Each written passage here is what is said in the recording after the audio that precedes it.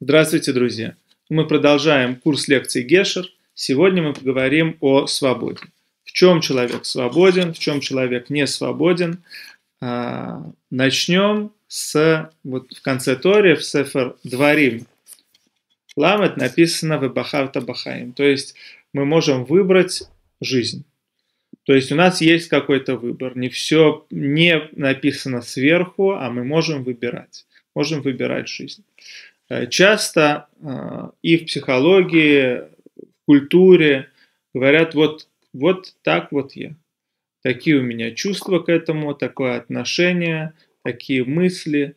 Но Тора нам говорит по-другому. Там говорит то, что мы можем выбирать. Факт такой, то, что Тору решили дать каким-то другим народам. И они сказали, мы не можем эту Тору взять. Мы, э, вот какие-то народы сказали, что они любят там убивать, любят красть, из-за этого они не могут взять Тору. Народ Израиля сказал на Асева Шма, мы будем делать и потом понимать. И вот они поняли то, что с этим а, инструментом человек а, по факту, он выше своих а, инстинктов, выше своих порывов, и он может выбирать свои мысли, эмоции и так далее. То есть у него есть выбор выбрать жизнь. Аж, во-первых, о вот этих аксиомах мы разложим это чуть-чуть. И, может быть, как-то посмотрим, как это делать в этой лекции. Чуть-чуть дадим примеры этому делу. Ну, во-первых, часто психология говорит, он смотрит на людей, у которых есть какие-то обстоятельства, как на жертв ситуации, но Тора говорит нам, приводит совершенно другие и историю. Пример. Пример номер один – еврейский народ, который выжил и, можно сказать, и сейчас уже процветает, несмотря на то, что тысячи лет были гонения и так далее. Если это посмотреть с теорией травмы, ну, даже нескольких поколений мы бы не выжили. Другой пример – это Йосеф. Вам хочу напомнить, то, что в книге Тори есть история про Йосефа, который в конце концов стал королем, можно сказать, замдиректором фараона. А, но это шутка, конечно. Он родился в семье, где его братья не любили. Они пытались его убить. В конце концов кинули в яму. Потом продали в рабство. В рабстве там тоже у него были не, не, не сладко. После этого он попал в тюрьму. После этого он как-то сумел стать королем, стал, смог простить, смог э, создать э, модерную экономическую систему и так далее.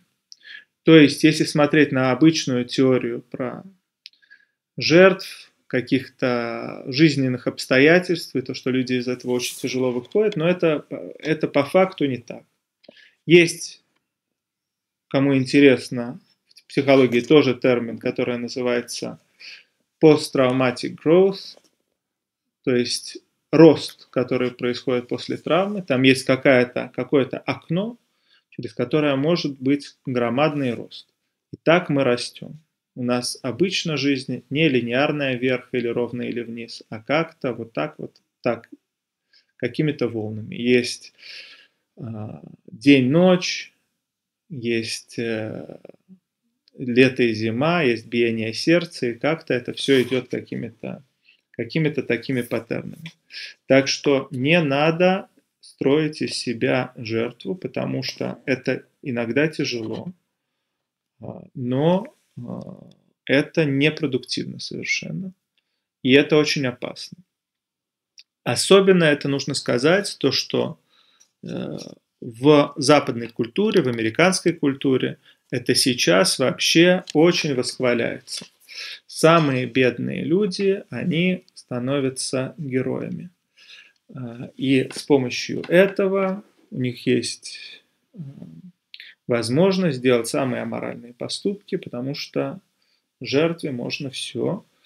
А, и, но вместе с этим нужно сказать, что лучше туда не ходить. Это очень-очень тяжелая история, а, когда человек начинает думать то, что он э, не виноват, то, что это кто-то и так далее, это очень-очень тяжелый э, какой-то путь, из которого очень тяжело выйти. И, к сожалению, этому обучают, и это приветствует западная культура. Если кто-то хочет это обсудить, пожалуйста, пишите, э, говорите и так далее в нашем телеграм-канале, который внизу. Также насчет вопросов и так далее, а, пожалуйста, пишите. Как можно из этого выйти? Ну, во-первых, есть несколько мисконцепций. Одна мисконцепция такая, то, что человек понимает то, что он как-то ограничен физически или какими-то жизненными историями, и из-за этого сразу же это равно жертве. То есть человек родился не в той семье, не с тем достатком, происходили какие-то жизненные ситуации, это значит, что он жертва, потому что у него есть какие-то внешние ограничения. Но эта концепция, она совершенно неправильная, потому что у любого человека есть ограничения, такие или другие. Есть одно, один безграничный, это только Всевышний. У нас у всех есть какие-то ограничения внешние. Другая сторона – это то, что внутри, внутренний мир человека, он полностью безграничен. Мысль нельзя остановить человека. То есть ее можно остановить с помощью э, смотрения в экраны, телефоны, можно остановить с помощью разных веществ и так далее. Но в принципе, априори, внутренний мир человека, который включает мысли, эмоции, чувства, он безграничен. И там человек может найти э, путь к свободе. Так как и мы это уже говорили, э, дадим пример сейчас из, э, от Виктора Френкеля. Вот Виктор Френкель, который основатель логотерапии, он, э, ну если вкратце и очень просто, он сказал то, что между каким-то внешним импульсом и нашей э, реакцией там есть промежуток, промежуток выбора, который мы должны этот промежуток вырабатывать и заслуживать. Потому что часто, или когда у детей, это сразу же реакция. Что-то произошло, они сразу же реагируют. Людей более осознательных, осознанных, они могут выбирать, они смогут смотреть на ситуацию, и есть выбор, как на это реагировать мысленно, как на это наполнять мысли, как чувственно на это реагировать, и после этого как реагировать действием. То есть есть вот там вот этот промежуток. И из-за этого человек по факту и с точки зрения Торы является свободным он может, может выбирать жизнь, может выбирать добро. Вот для этого у нас и есть. Он может, а, еще раз я говорю, это не а, такое а, прыжок с непонимания в полную внутреннюю свободу. Обычно так это не происходит. Это должна быть какая-то работа, должна быть какая-то тренировка но, в прин... но, но фактически это так. Вот из-за этого человек является человеком, который может выбирать, у которого внутри есть э, свобода, как думать, и вы, выбирать, как, что думать хорошо и так далее. Э, конечно же, следующая история, это, которая может нас э, ограждать от этого, это желание. То есть человек не то, что он не может там, прекратить курить или не может вставать рано утром, чаще всего он этого недостаточно хочет. И тут есть мисконцепция такая, что можно поменять желание напрямую. И это вот, если вы это запомните из этой лекции, это будет уже большой плюс. Что я имею в виду? Что желание они а, меняются или добавляются через молитву. это объясняется в Кабале, как, что человек, если он вот сам захочет там что-то, а, это часто не происходит, но если он молится о своих желаниях, вот так вот через Всевышнего, вот так вот это, вот так вот это работает. Иногда мы это делаем неосознанно. Мы молимся а, о том, чтобы желать Но, в принципе, вот так вот это работает. Человек, мы хотим сказать, то, что он полностью свободный. Где находится в действии? Где находится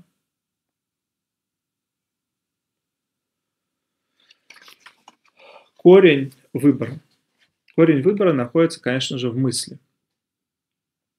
То есть, когда человек думает, там, я пойду направо или налево, или сделаю то или другое, и также чувство это находится в мысли. А у человека есть полная базовая свобода, чем наполнять свои мысли.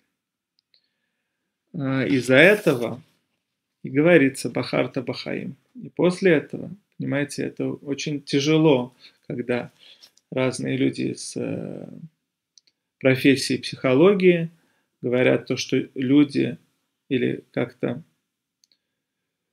Ну, есть такое мнение, что люди полностью зависимы от своих каких-то эмоций, чувств и так далее.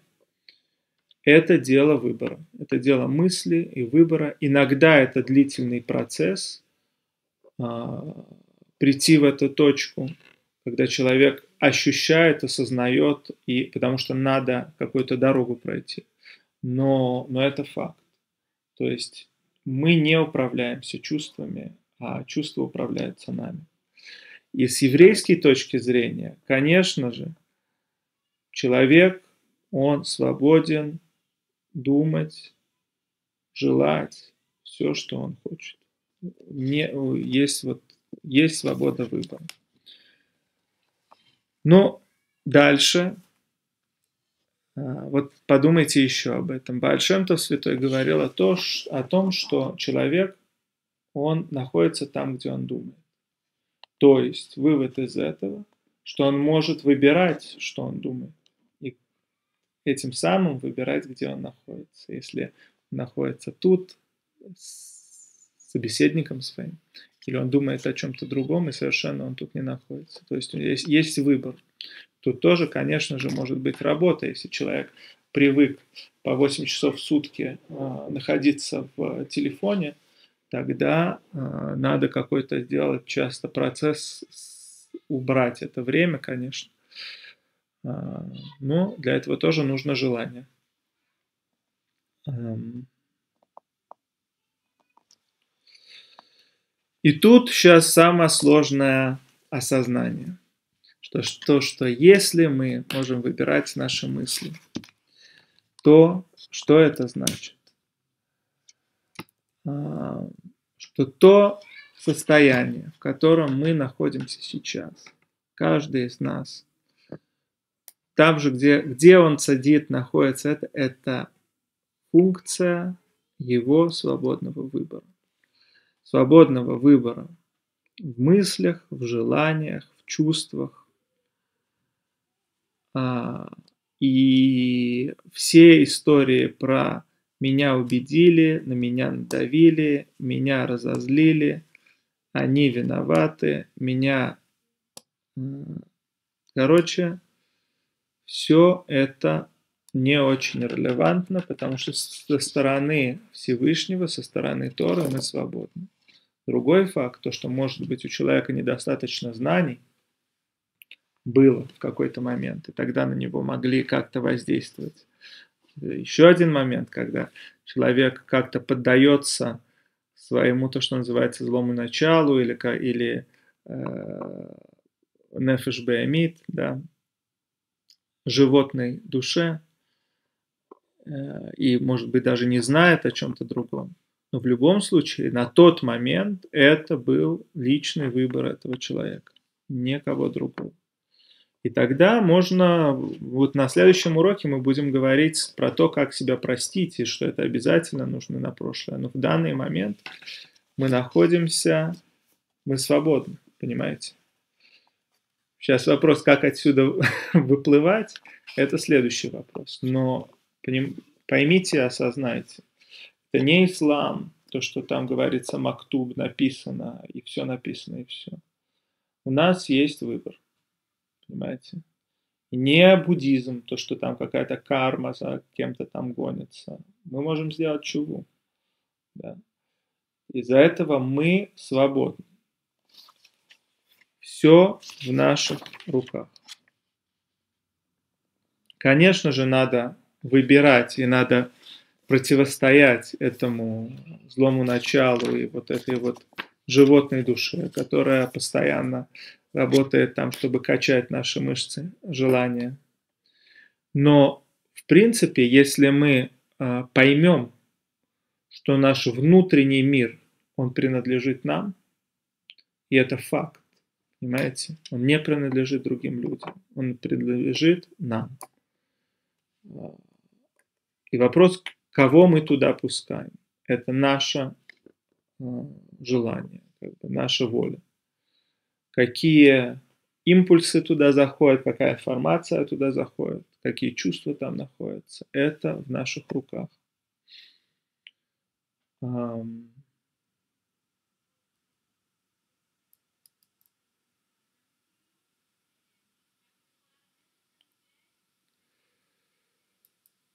Из-за этого я хочу еще раз сказать то, что то, что люди иногда думают, то, что у них э, связанные руки, они находятся как жертвы в своем положении, это, это неправда.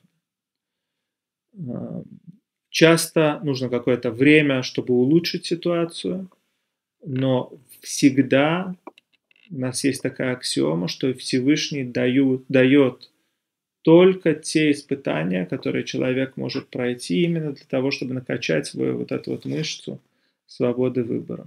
Из-за этого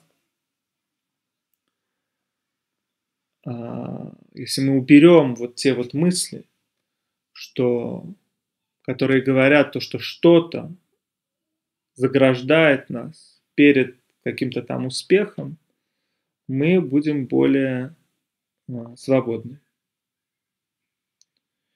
И нету ситуации, в которой мы находимся, есть желание, в котором мы находимся. Желание – это кетер, это корона. Она выше, чем ситуация. Идем дальше. Как на это по-другому можно посмотреть? Это не то, что есть какие-то там ситуации сложные или как-то э, какой-то человек э, нехорошо себя ведет. Это ситуация, которая дается для нашего выбора. Мы можем выбирать свое окружение. Мы можем выбирать как мы относимся к ситуации. И все это для того, чтобы нас прокачать как-то, прокачать нашу душу, сделать нас сильнее и в разных ситуациях стараться выбирать хорошее. Хорошее это не всегда милосердие, иногда это наоборот граница какая-то.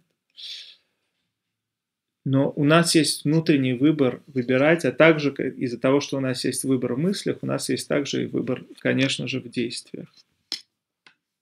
Когда мы начинаем ощущать этот, эту тенденцию, мы начинаем чувствовать, что каждая ситуация, которую Всевышний нас посылает, что у нас и сейчас есть выбор а, сделать хорошее, выбрать хорошее, послать какой-то позитивный импульс. И тогда у нас начинает внутри нас развиваться совершенно другой поток. То есть от потока мне делают так, мне делают это, мне делают вот тот, тот, тот, тот сделал. У нас начинается совершенно другое отношение к ситуации. То, что Всевышний нам посылает какие-то иногда испытания, иногда челленджи, иногда каждый день, чтобы проверить нашу веру, чтобы нас э, развить в том чувстве свободы, в котором мы находимся, потому что мы можем выбрать и так, и по-другому. Мы можем выбрать злиться, мы можем выбрать внутри остановиться спокойными. И мы относимся к этому как к еще одному а, такому доверию от Всевышнего, который нам а, доверяет, нас хочет как-то чему-то сегодня тоже научить. И, конечно же, после этого, из-за чего я говорю то, что это берет какое-то время, потому что иногда человек ну вот, находит себя в какой-то ситуации, еще раз я говорю, э, Рабин Ахман говорит о том, что Всевышний, Давид Амелах говорит о том, что Всевышний находится и наверху, и внизу, он находится везде. И иногда а, как бы, работа человека надо знать, что он делает, когда поднимается, что делает, когда спускается. И вот тот, та вот история, что нам всегда надо быть там сильными и так далее, нам надо стараться. Да, нам надо стараться, надо молиться, но а, работа происходит всегда, да. И вот именно как бы и на подъеме, и на спуске там есть э, свободный выбор. Свободный выбор, как э, выбирать, да. Сделаем ли мы правильный поступок или не сделаем. Если мы не знаем, какой правильный поступок, можем посоветоваться с каким-то мудрым человеком, который нас направит, потому что иногда мы, правда, не видим. Иногда, правда, не видим. А, иногда нужно Просто и это тоже недоступно. Тогда э, нужно помолиться, и надо понять то, что все от Всевышнего, и включить хорошее настроение, да. И тогда надо, понимаете, тогда что происходит? Происходит такое колесо, да. Э, человек э, получает, как говорится, меда кенегед меда. Если он много раз выбирает хорошее, это хорошее начинает к нему возвращаться, и это как-то вот ставит его жизнь в правильное русло. Вот. А, следующая история тоже очень сложная. Мы себе любим говорить, что есть какое-то а, есть я не знаю, как это даже назвать. Ну вот есть э, вот такой фейт, да, такой гораль, так вот предписано. И вот так вот должно продолжаться, да. Вот есть люди, которые себе так э, придумывают. Но по иудаизму такой вещи нет. Всегда можно изменить ситуацию, всегда.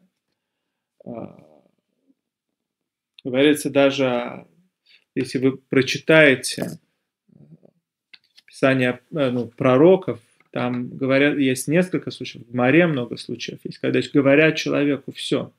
Там пророк приходит к королю и говорит, все, ты должен умереть. Он говорит, нет, вообще уйди отсюда. Как это так?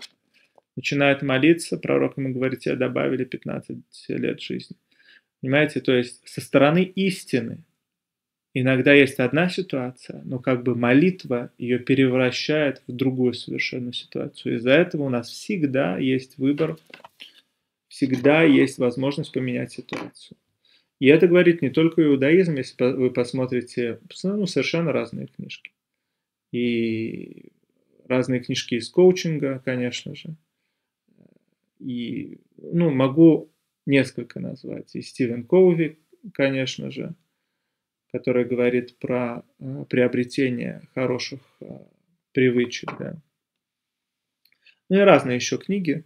Если мы их, эти книги, как бы соединяем с тем, что есть Всевышний, тогда ими можно, конечно же, пользоваться, потому что мудрость в народах мира надо верить. То есть соединять с ними, с этой мудростью веру. Что мы говорим? То, что нету определенного какого-то состояния, которое человек придумывает, то, что вот сейчас находится, ничего не, не может поменяться. Это все неправда. Человек, он может выбирать. Человек, он не, он не жертва какой-то э, семейных каких-то обстоятельств. Он не жертва а, тому смыслу, который он дает своим мыслям. То есть он не жертва той истории, которую он сам себе рассказывает. Потому что ты сам придумываешь эту историю. Да? Ты сам даешь смысл тем событиям, которые с тобой произошли. Конечно же, это относится и к мужчинам, и к женщинам. И, конечно же, мы не жертвы той ситуации, в которой мы находимся, потому что всегда ситуация может измениться с помощью молитвы, с помощью наших действий, с помощью наших отношений. А, то есть, как мы относимся к этой ситуации, как мы ее раз пытаемся разрешить. То есть ситуация это данность, она дается от Всевышнего, но потом там проявляются наши качества. И, конечно же, нужно учиться. Видите, Шломо Амелах, главный из умнейший человек, он попросил мудрости, из-за этого он получил все, богатство и так далее.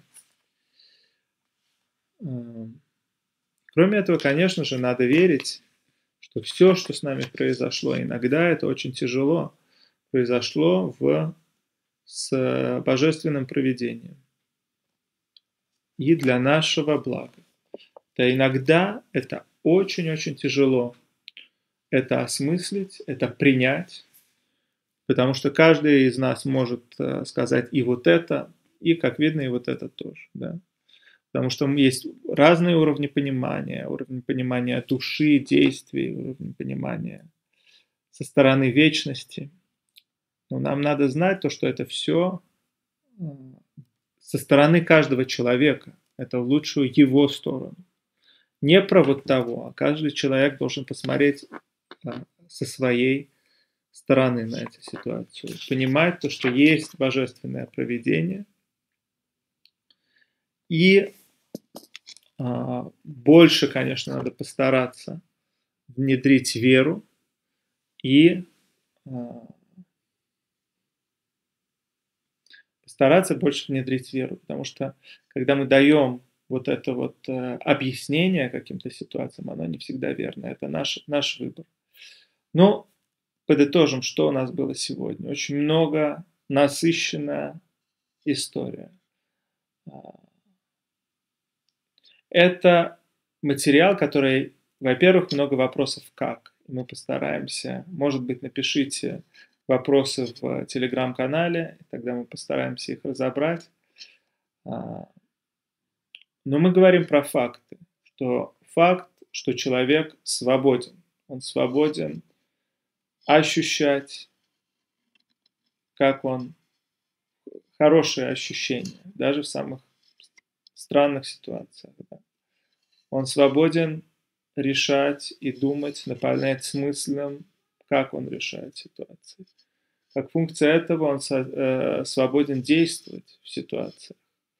И это иногда тяжело, потому что нам иногда легче выбрать э, роль жертвы, а не взять ответственность. Потому что ответственность взять всегда тяжелее. И если мы даже до сегодня это не знали, то сегодня мы можем начать изменять все в лучшую сторону. То есть брать ответственность продолжать делать ошибки, говорить извините Всевышние люди за эти ошибки и продолжать действовать. Потому что только так, с помощью каких-то много попыток, с каких-то челленджей, каких-то тяжелых ситуаций и прекрасных ситуаций. Ну, вот это вот называется жизнь, да, которую мы выбираем. Когда мы выбираем роль жертвы, мы не выбираем жизнь. А нам то рассказал, то, что надо выбирать, конечно же, жизнь. Всего самого наилучшего. До свидания.